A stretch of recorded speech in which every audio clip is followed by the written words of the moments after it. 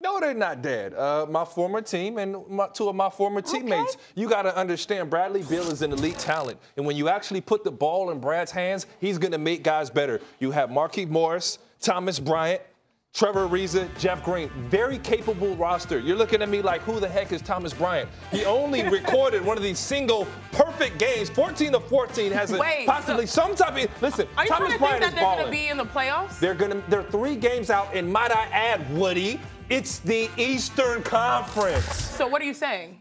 Bradley Beal is the star. When you put the ball in his hands, the team's going to play better. The ball's going to so pop. So what are around. you saying, Ryan? The Wizards are, you... are going to make the playoffs. the Wizards are going to make the playoffs.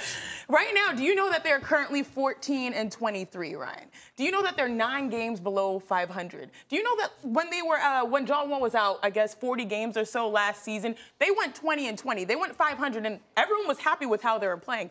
There's no way that you can expect for this team who really needs to rebuild. And without John Wall, who a lot of people have criticized, largely because the media, he doesn't really care if everyone likes him there. He might as well not even care if all his teammates like him. But this is still a guy that I think they look to pay. He has a huge paycheck, and he will compete at the end of the day. Listen, but without John Wall, what? this Listen, is a 500 what? team, Ryan Hollins. Listen, I don't see them better be what he's getting Listen, paid. You, you know they played with, the ball pops without him. With John Wall, they were dead anyway.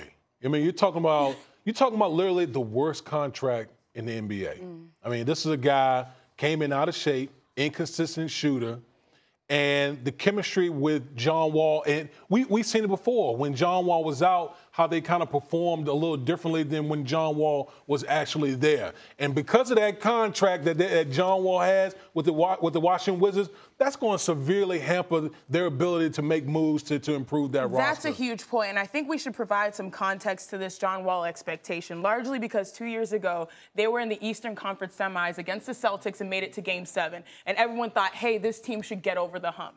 Instead, John Wall and company, Bradley Beal, and they're lucky to even have Trevor Ariza now. They were not able, and I'm thinking about this current team, they're not able to get over that hump largely because John Wall's health.